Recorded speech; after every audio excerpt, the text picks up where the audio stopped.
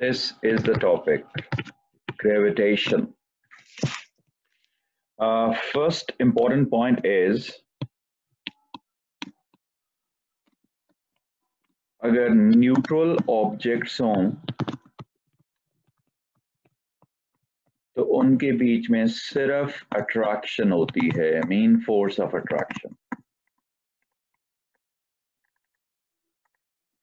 and this force is called gravitational force. So the force of attraction between two objects, neutral objects, between two masses is called gravitational force. Second important is these are the two objects इसका size बेटा suppose d1 इसका size d2 mean there diameter और इनके बीच में centre से जो distance है mutual this is x so x distance is greater than d1 x greater than d2 so these two objects a and b are called point mass object or point masses.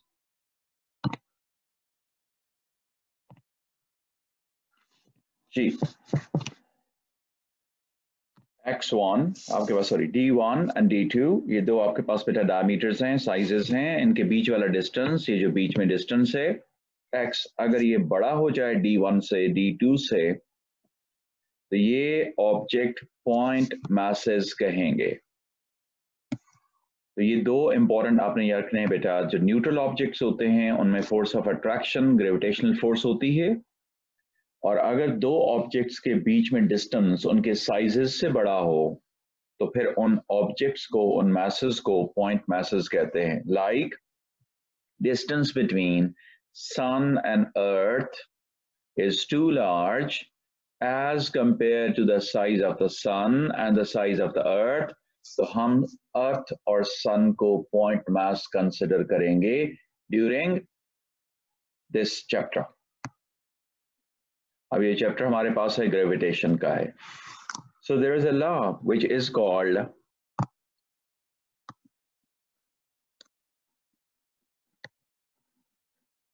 Newton's law of gravitation.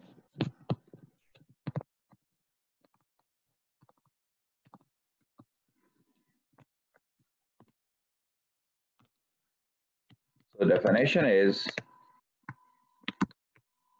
force of attraction.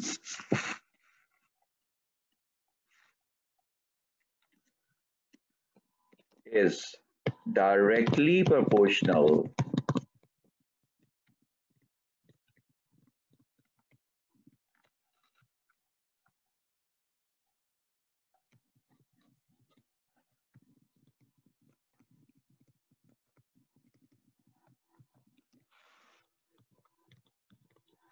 to the product of uh, two point masses and inversely proportional. To the square of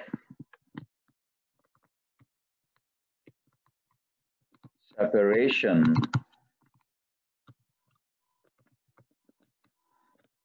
between them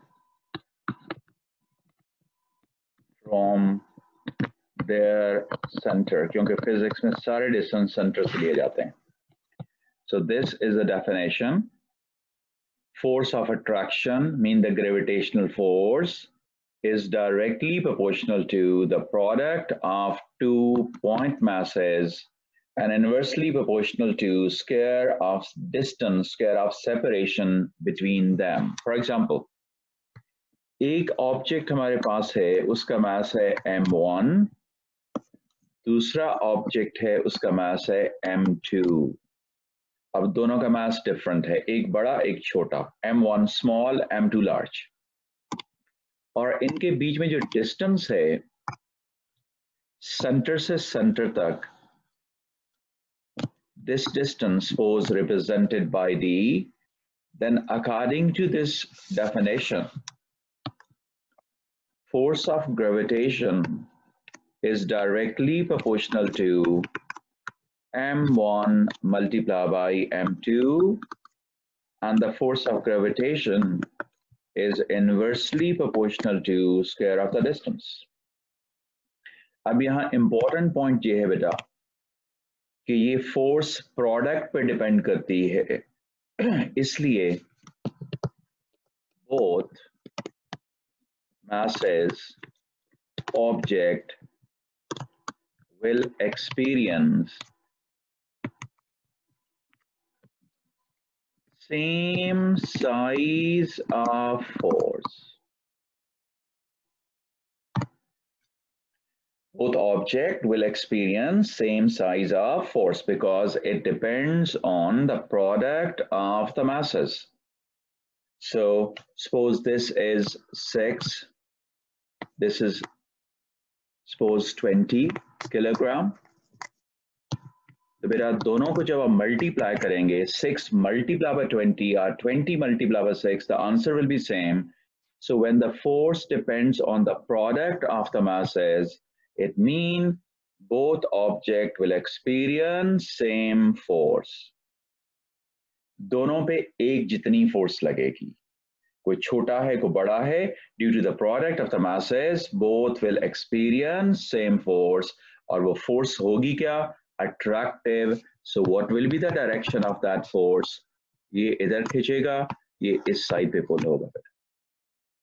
Now the next is force of gravitation is inversely proportional to distance square mean when distance becomes double force decreases by 1 by 4 because 2 square 4 तो अगर आप distance double करते हैं तो force 1 by 4 हो जाएगी 4 times कम हो जाएगी and similarly if the distance becomes 10 times, then the force decreases by the factor 1 by 100.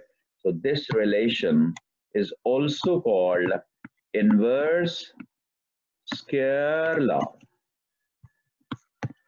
So the first is F force directly proportional to M1 and M2, and the second is F inversely proportional to D square. According to this definition, force of attraction is directly proportional to the product of two point masses. The point का मैंने आपको बता दिया था point masses क्या होते हैं and inversely proportional to square of the separation between them from their center. Now combine these two relations. So force of gravitation directly proportional to m1, m2 over D क्या। मैंने, बेटा, ये दोनों जो हैं फॉर्मूले ये कंबाइन कर लिए। और आपको पता है मैथ में कि डायरेक्टली प्रोपोर्शनल साइन खत्म करना हो तो हमें कांस्टेंट लगाना पड़ता है।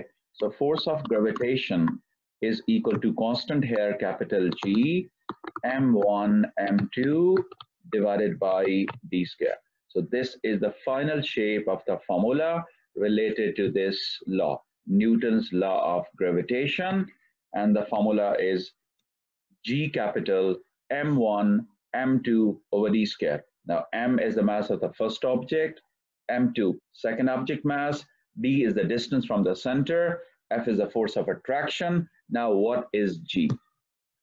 ये जो G है, this is called universal gravitational constant. It is constant for the whole universe. Its value will be given. याद रखने की ज़रूरत नहीं पेपर में गिवन होती है 6.67 into 10 power minus 11 newtons, meter square, kilogram power minus 2 जो पेपर फोर होगा, उसके पेज नंबर थ्री पे ये वैल्यू लिखी होगी कैपिटल जी 6.67 10 पावर माइनस 11 याद रखने की ज़रूरत नहीं। लेकिन ये एक्चुअली है क्या? उसको अंडरस्टैंड करने के लिए देखें बेटा। Suppose we have two objects दोनों न्यूट्रल हैं। वन के जी ईच और इन दोनों के बीच में जो डिस्टेंस है from centre to the centre that is one metre सब कुछ हमने यूनिट ले लिया। सारी वैल्यूज़ आपने वन वन ले ली। डिस्टेंस भी दोनों के बीच में वन है। न्यूट्रल है। वन के जी के हैं। So the formula becomes G is equal to F D square over M one over M two तो अब इस सिचुएशन में जरा वैल्यूज़ पुट करें बेटा इसमें। तो F D distance is one so one square mass first one, second one तो n पे आपके पास बता f तो इसका मतलब है जी एफ़ होता है, लेकिन कब? जब masses वन के जी हो और उनके बीच में डिस्टेंस वन मीटर हो। यानी कि अगर आपके पास masses न्यूट्रल हैं number two one K G के हैं. नंबर थ्री उनका डिस्टेंस वन मीटर है. वो अट्रैक्ट करेंगे. तो जितनी फोर्स से वो अट्रैक्ट करेंगे that is known as this gravitational constant और universal gravitational constant so definition universal gravitational constant is the force of attraction between two neutral objects. Each of mass 1 kilogram and placed unit length, mean 1 meter apart from their centers तो जब भी object neutral हों one के जी के हों one metre distance पे पड़े हों, वो जो जिस फोर्स से वो अट्रैक्ट करेंगे that is called universal gravitational constant तो ये जी की वैल्यू है तो उसके बीच में कितनी फोर्स होगी? इतनी फोर्स होगी। अगर वन के जी के ऑब्जेक्ट वन मीटर पे पड़े हों तो कितनी फोर्स से अट्रैक्ट करेंगे? Six point six 6.67 into 10 power minus 11. Okay, so F, the gravitational force, G, M1, M2 over D square. ये तो हो गया जी लेकिन यूजुअली हम ये पढ़ते आ रहे हैं ओ लेवल से कि अर्थ न्यूट्रल है हमें अट्रैक्ट करती है तो यही फोर्स है जिससे वो हमें अट्रैक्ट करती है। तो this is the force of attraction लेकिन हम जनरली कह देते हैं this force of attraction is equal to our weight. तो अब थोड़ा सा इसको आगे एक्सटेंड करते हैं। Suppose this is the neutral object earth और आपको पता है बेटा अर्थ परफेक्ट सफेयर नहीं है, लेकिन हम अज्यूम कर लेते हैं this is the perfect sphere and this is the distance from the center of the surface, mean the radius of the earth और इसका mass है capital M. इसकी सरफेस के ऊपर हम एक छोटा सा ऑब्जेक्ट रख देते हैं small and its mass is M kilogram और इसका सेंटर देखें बेटा, ये है। तो अर्थ के सरफेस से लेकर इसके सेंटर तक ये जो छोटा सा डिस्टेंस है सपोज़ दिस इज़ एच तो अब अर्थ के सेंटर और इस ऑब्जेक्ट के सेंटर के बीच में जो डिस्टेंस है that is actually radius plus height to the centre of the gravity लेकिन ये जो h आपके पास है this is very very small as compare to the radius याद रखें रेडियस ऑफ़ द अर्थ होता है 6400 किलोमीटर्स तो अब ये वाला जो ऑब्जेक्ट होगा, अगर ये वन मीटर भी होगा तो इसकी वैल्यू ही कोई नहीं। Against six thousand four hundred इसलिए हम कहेंगे कि this R is too large and H is negligible so the distance is approximately equal to the radius of the earth तो अब इन दोनों के बीच में जो फोर्स ऑफ़ ग्रेविटेशन होगी capital G mass of the object mass of the earth over R square तो earth का mass कैपिटल एम ऑब्जेक्ट ऊपर पड़ा हुआ है बेटा, उसका स्मॉल एम दोनों के बीच में जो डिस्टेंस डी है, वो approximately radius of the earth है, क्योंकि डिस्टेंस आपके पास जो है सरफेस ऑफ़ द अर्थ का सेंटर ऑफ़ द ऑब्जेक्ट तक एच नेग्लिजिबल है। अब हमने ये पढ़ा हुआ है this is the force with which earth attracts the object downward और इसको हम नाम देते थे weight weight of the object तो इस force को बेटा हम weight लिख देते हैं W is equal to G small m capital M over R square so mg is equal to capital G, capital M over R square. Both m are cancelled.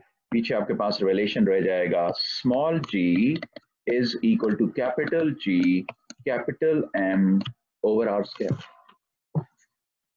Small g is equal to capital G, capital M over R square. Now there's a difference between small g and the capital G. Small g is the acceleration due to gravity, जिसकी value आपने पढ़ी है 9.81 and the capital G is gravitational constant, universal gravitational constant. So this is the relation between small g and the capital G. And sometimes ये paper में ऐसे आता है show that prove that that G M product is G R square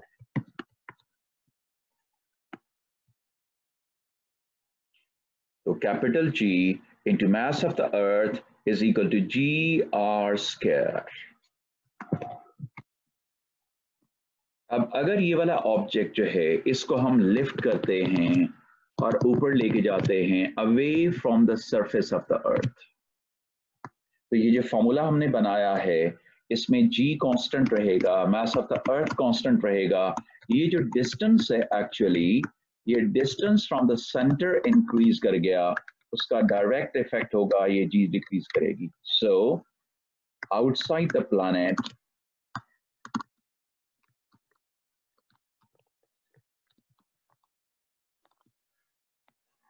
g small is inversely proportional to square of the distance from the center of the planet.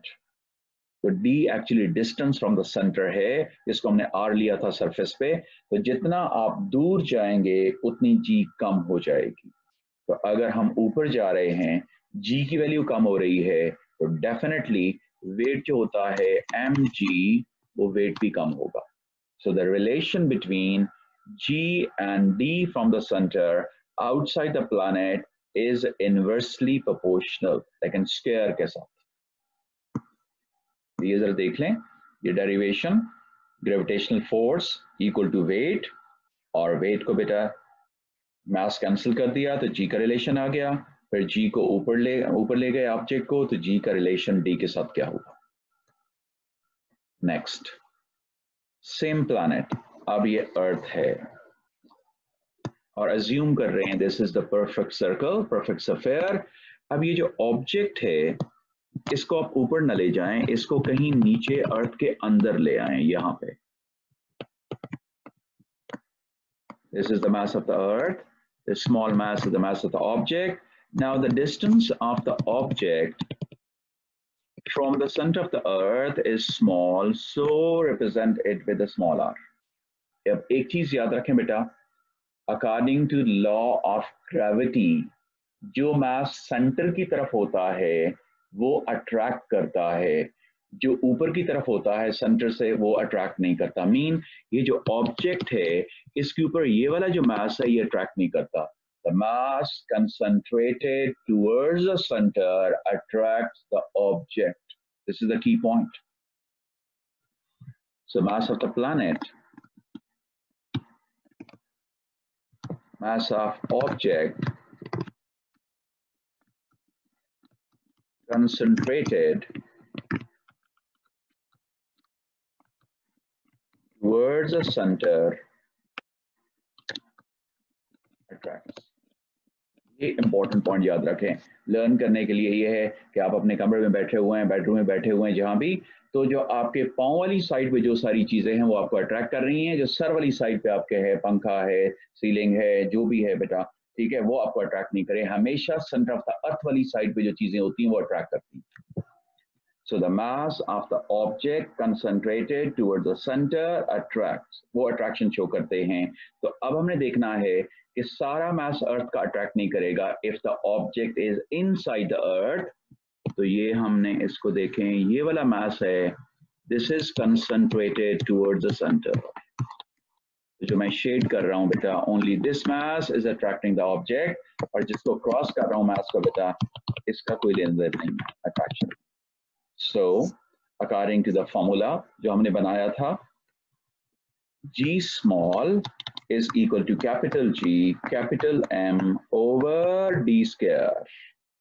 तो अब अगर आप inside the planet आते हैं जी तो constant रहता है, लेकिन जो मास अट्रैक्ट करने वाला है अर्थ का वो कांस्टेंट नहीं रहता डिस्टेंस भी कांस्टेंट नहीं रहता जी भी कांस्टेंट रहता so there is a single constant which is universal gravitational constant.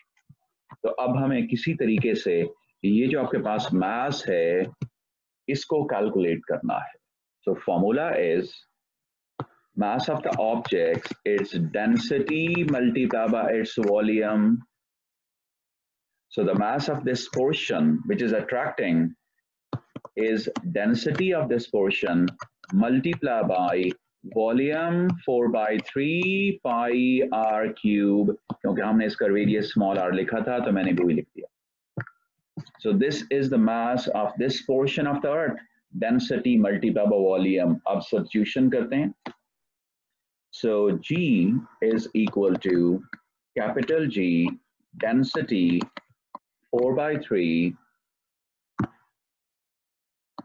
pi r cube divided by d square. Look, the distance from the center of this mass is also r, so we can write here, we can write here r square.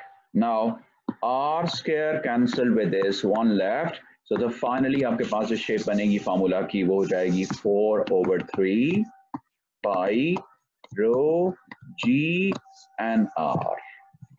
So G is equal to 4 pi rho gr. अब इन सबको देखें this pi is constant, G is constant, rho is the density the earth which is actually not constant क्योंकि ऊपर solid crust है, नीचे molten form में लावा है तो डेंसिटी सेम नहीं है, लेकिन ए लेवल में हम ये कहेंगे कि density is uniform density is constant mean assume करेंगे राइट right? और अगली क्लासेस में जाके फिर इंटीग्रेट करेंगे limit to limit layer to layer लेकिन अभी ए लेवल के अंदर हमने अज्यूम करना है दिस रो इज कांस्टेंट लेकिन होती नहीं याद रखें बेटा अगली क्लासेस में आप इंटीग्रेट करेंगे इसको लिमिट्स पुट करेंगे अगर किसी की एड मैथ फर्दर मैथ है तो so the G is equal to four by three pi rho G times R so this portion is constant So the final relation is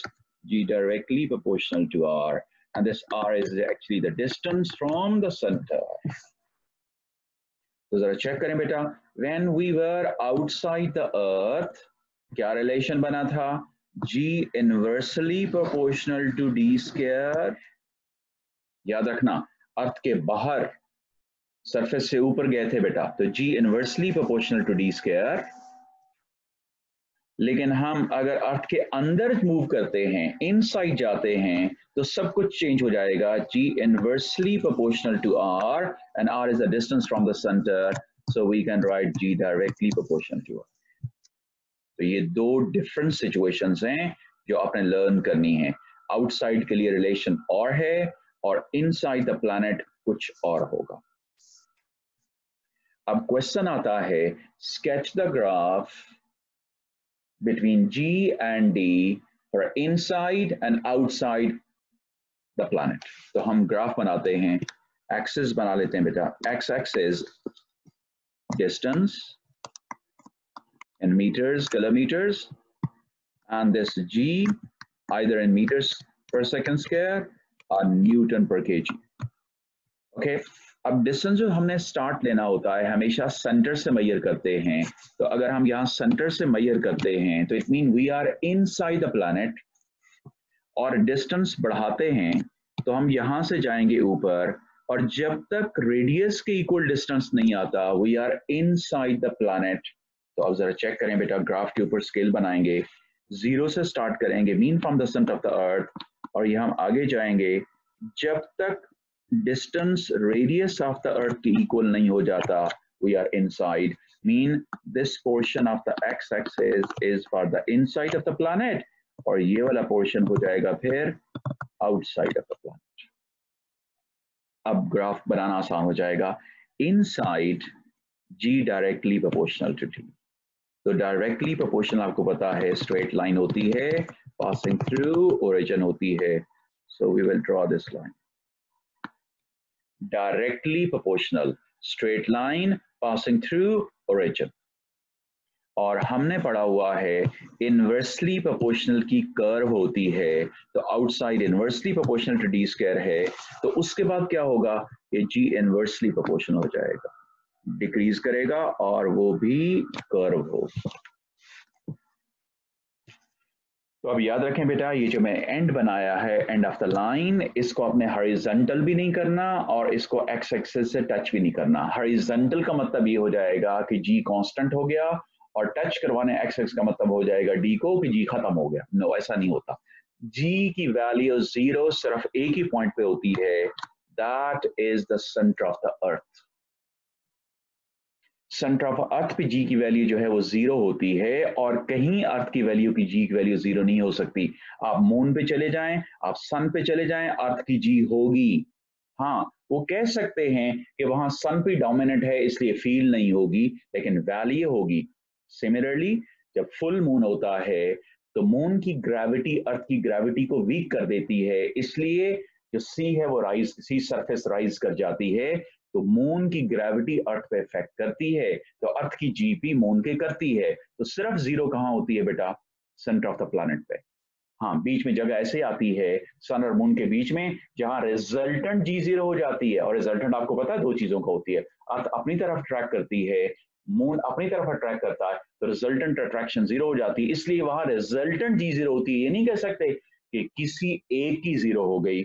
for example ये अर्थ है ये moon है, यहाँ point ये होगा कि अर्थ की जी सपोज़ करें प्लस फाइव मून की इधर माइनस फाइव तो रिजल्टेंट जी ज़ीरो हो गई, किसी एक की ज़ीरो नहीं यहाँ इनके सेंटर पे जी इनकी अपनी अपनी ज़ीरो होती है।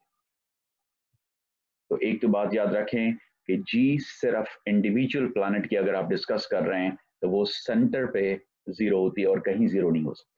वो जो कहते हैं जी, वहाँ ग्रेविटी नहीं है वेट लेस है तो वो रिजल्टेंट की बात हो रही है, वो आगे चल के करेंगे। उसके बाद देखें, सबसे ज़्यादा जो जी की वैल्यू मिल रही है, वो आर पे मिल रही है।